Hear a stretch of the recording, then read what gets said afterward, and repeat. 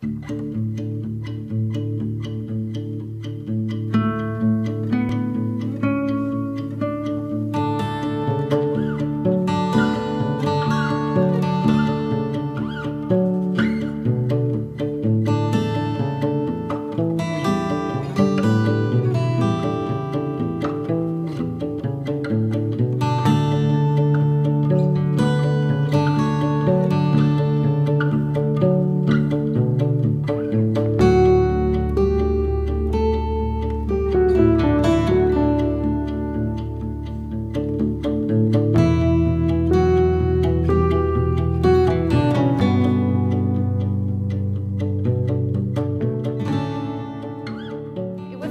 2003 when I really started doing sculpture out of these um, elements, you know, found, manipulated materials, discarded things that were kind of garbage.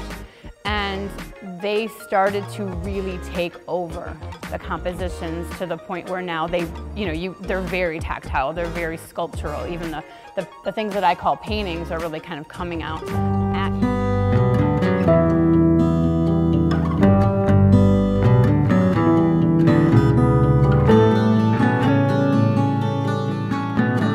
to realize now, looking back, is that I thought I was a very rational, logical, linear person and did my best work in that mode, and actually I don't. I do my best work in a more intuitive mode. Um, and I think it's just a matter of how you access information, but I think I access information differently. Let me give you an example. When um, people want to come to visit us, they'll ask for directions, and I'll hand the phone to Betsy. Because Betsy can tell them, you go down the street, you turn left on Jones Street, you turn right on Smith Street, and then there's a stop sign and you're there. The way I remember how to get to my house, and I'm making this up, but it's like this, is it, it's a little darker and it's a little lighter, something goes by, and then there's something blue over here. I can't give anybody those directions, but that's how I store that information. And so I've learned that although there are some problems that I need to solve linearly and rationally, and I'm good at that, but my best work I do when I let go of that and solve problems in a more intuitive mode. I'm a, a big picture kind of a person.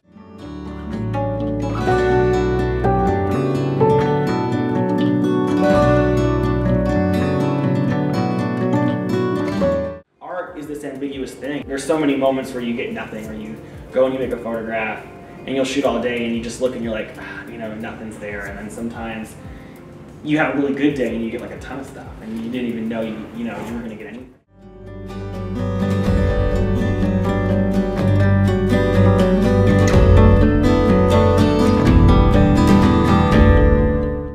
I think that I've never had a problem with coming up with ideas, and it's almost like I have so many ideas that sometimes things get sifted out because they're not as important. I have some recent work that I've kind of moved on to casting rope text.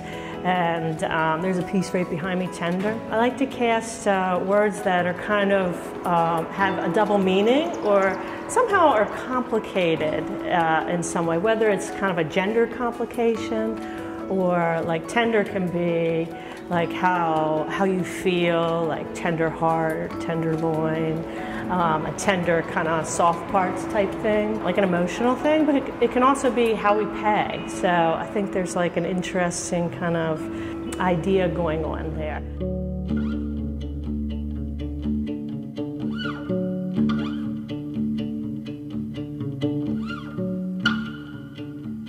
And so I've been blessed to be able to attract some really good energy. And so why would I move from here when it works? Okay, it works. It, it, and and the, it's the people and the stories and the things that they have brought to me in my interaction uh, because I used to be in suburban suburban schools, and then I said, you know what? I'm an ambassador for Homewood and suburban schools. I need to be in my own community to, to ground my own The children are here. The children in the neighborhood. Oh, there's Miss Tina. You know, so there's some validity to staying and doing the hard work. That and my parents. I'm from West Virginia. We stayed in the community. We did not, and that's not to say anything against anybody else, but you you go to the well to get the drink of water. My drink of water is here.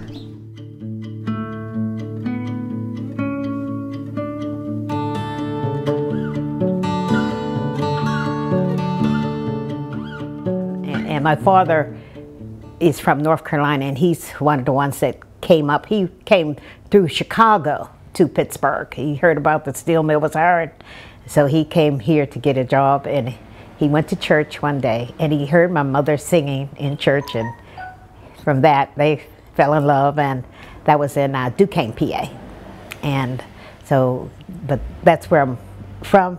And getting back to the question about when did I know I was going to be an artist, I think I was inspired by my mother because she was a beautician. So I would see her beautify women. And also my grandfather made these quilts. And I would see how he could turn these, he would turn these um, army, he would work with heavy materials like army coats. And he made these, sadly the house burnt, so we, I don't have any, any, um, any of them. And just seeing how they work with fabric. He worked with fabrics. My mother worked with hair. And there was also this group called uh, the Sunshine Guild. They would come. It was like a group of women that would show us different things like crocheting and you know you make those little plaster casts and you paint them. So I was always good with my hands. So I, I, I think, but I think the influence of seeing my mother beautify women helped.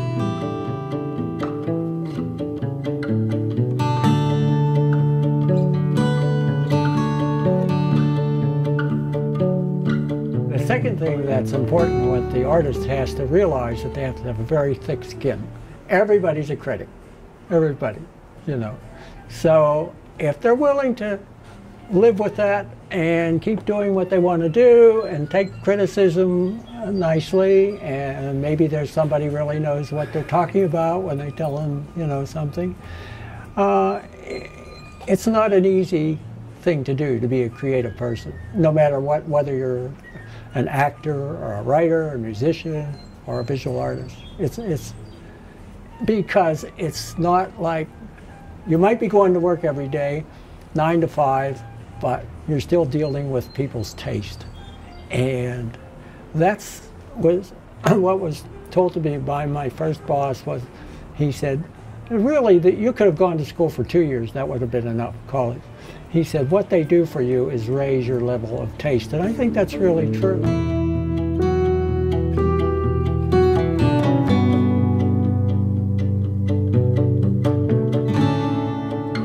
I feel like it's important for us to take the time to do work that we're doing just because. If we lose touch with what made us love the work in the first place, it becomes another job.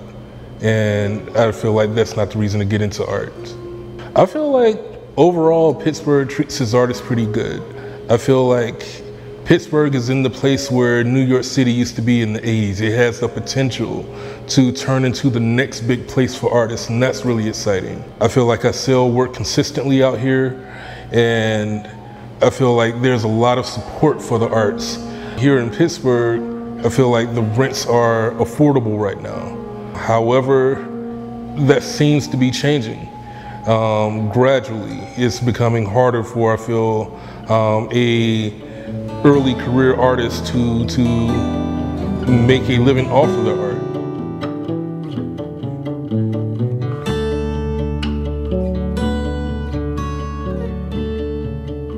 Um, I grew up in the suburbs, so like the draw of coming out to the city and um, still not being right downtown really drew me in. But um, since then, there's there's definitely been a lot more community involvement and um, you know opportunities for artists right here in the neighborhood. So when you say suburbs, where is that? Plum. Plum. Yeah, 20 minutes outside. So this this path from Plum to Indiana to Georgia to Paris to Dormont. That's pretty complex run. I mean, that's yeah. like about every place you could ever like. There's, you've covered it all where you've lived. So, how has that influenced your work in, in any way? I mean, has your work been kind of like the same, or does your environment change your work? Um, I would say my work is prob it's very very dependent on on my environment. Um, a lot of you know, I can look at, I can look personally at each one of my paintings and say, oh, that one, that one was done in Vermont. That one was done in Savannah. Um,